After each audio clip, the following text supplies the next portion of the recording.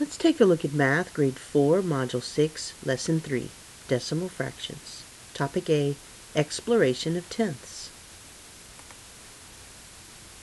Alright, so we're going to use our place value discs to show 21 units of one tenth. So this disc right here is going to be representing one tenth, and it says so on it, 0 decimal 1. I want to show 21 units of this. So here's 1, 2, 3, 4, 5. Now one of the things we want to do whenever we're dealing with discs or we're drawing dots in math, we want to attend to precision. We want to make sure that we keep things neat and lined up. So I'm going to like line them up. In this case, I'm going to do them in, in like rows of five. So I have five in this row, and then I'm going to have another five. That'll give me 10. And then I have another five. That makes 15. And another five makes 20. And then I need one more. So now I have 21 units of one tenth. Is there any way I could use fewer discs to show this same amount? I can take this group of 10 and I can trade these in for another discs. Because if I put 10 one-tenth parts together, I can make one whole.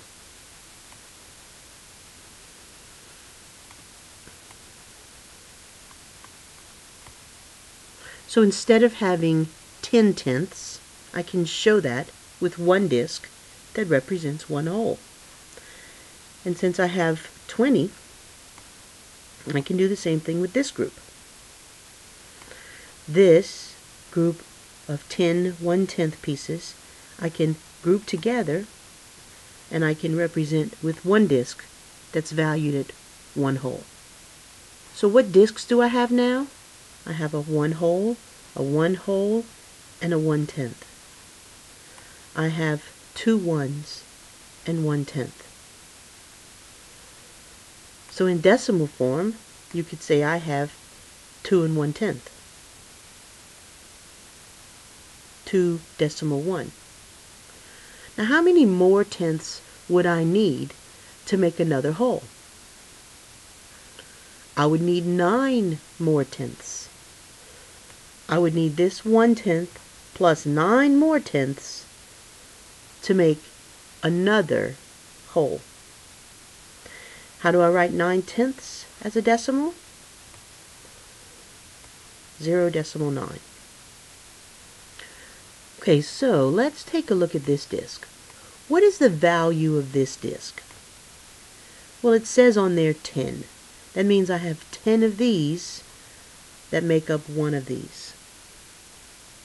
But what if I had more of these discs? Let's say I had four of them.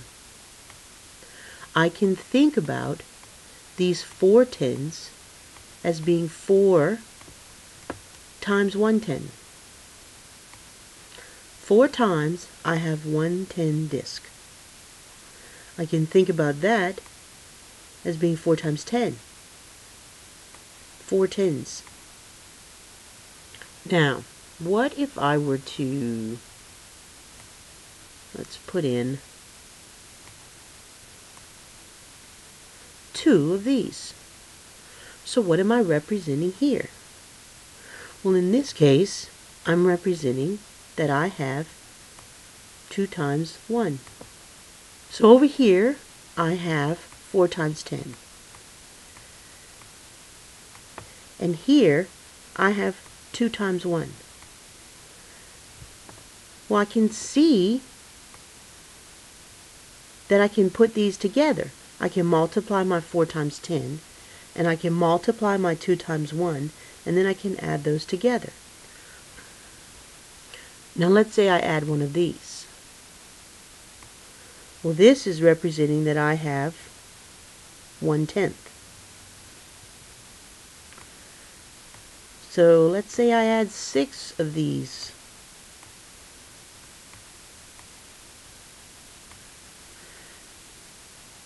What would this show with multiplication?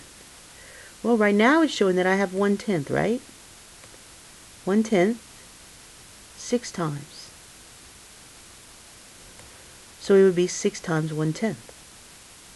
So here I have four times ten, that's 40. And here I have two times one, that's two. And over here I have six times one tenth, which would be six tenths. So let's look at those things added together.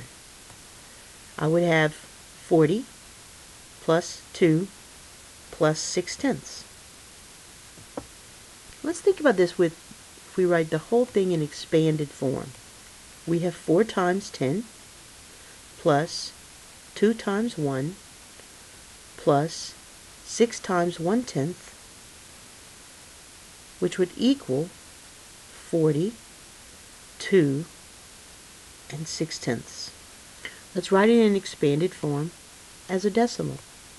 It's just instead of here having 6 times 1 tenth as a fraction, you would have 6 times 0 decimal 1. So when we write it in expanded form, the decimal portion would look like this. 6 times 0 decimal 1. And when we multiply 4 times 10, we get 40. When we multiply 2 times 1, we get 2. When we multiply 6 times 1 tenth, we get 6 tenths.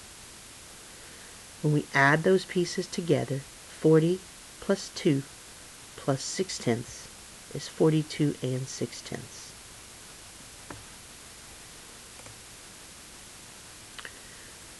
Now one of the activities you're going to do is you're going to have to use a number line and you're going to have to find where a decimal number would be on the number line, write it in decimal form, um, show it as a mixed number in fraction form, do an expanded form, and tell how many more are needed to get to the next one. So let's do a couple of these. We're going to begin by doing 4 and 1 tenth. So here I have a number line. And I'm going to put like 0, 1, 2, 3, 4, 5 on there. And I'm going to figure out where 4 and 1 tenth would be. Well, I know 4 is here, so 1 tenth is going to be one space past the 4. Here's 4 and 1 tenth. So if I were doing 4 and 1 tenth as my A on this page, then I would label this number line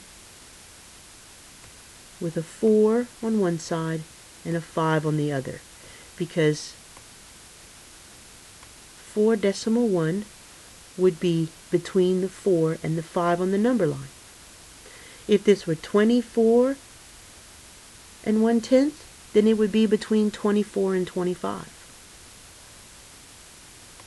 So here's where 4 and 1 tenth goes. Wants me to write it in decimal form, which is what this is wants me to write it as a mixed number. So as a mixed number, I would say that I have four wholes and one more part, one tenth more. So I would write four and one tenth. Now when I'm doing it in expanded form, I would think about each place value. So I have something in the ones place. So that's going to be 4 times 1. And I have 1 in the tenths place. So that's going to be 1 times one tenth. So my expanded form would probably look like this. Now I could have written this in decimal or in fraction. I'm going to show you both for this first one.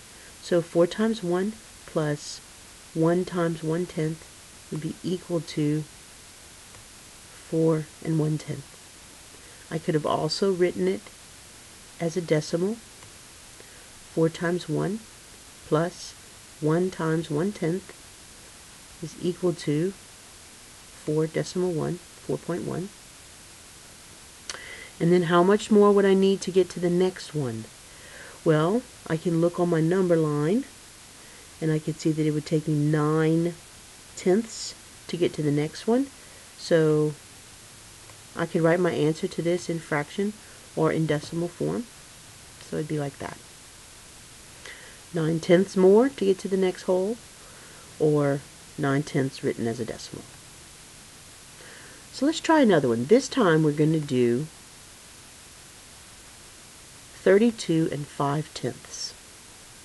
Now when I look at my number line up here, I don't see a 32. But I can think about this 0 being 30, 31, 32, 33, 34, and 35. And I can think about between which two numbers 32 and 5 tenths would fall. It would be between 32 and 33. So I can label it that way. And then think about where I would draw my dot. It would be 5 tenths, so that's going to be right in the middle. So it'd be 1 tenth, 2 tenths, 3 tenths, 4 tenths, 5 tenths. So it would be there on the number line. Written as a decimal, it would be 32 and 5 tenths. Written as a mixed number, it would be 32 and 5 tenths. In expanded form, well, this time I have a tens place, a ones place, and a tenths place. So I have 3 times 10, 2 times 1, 5 times 1 tenth. So I might have to do it on two separate lines, but I have 3 times 10 plus 2 times 1. Now my decimal 5 part, I can do it as a decimal or a fraction. I'm going to do this one as a fraction. 5 times 1 tenth. And when those things are multiplied and then added together, I get 32 and 5 tenths. So how many more do I need to get to the next whole? I can look at my number line and see that I need 5 more tenths. And I can write that as a fraction or a decimal. And that'll take care of things for lesson 3, where we've been working to represent mixed numbers with units of tens, ones, and tenths, with number discs on the number line and in expanded form.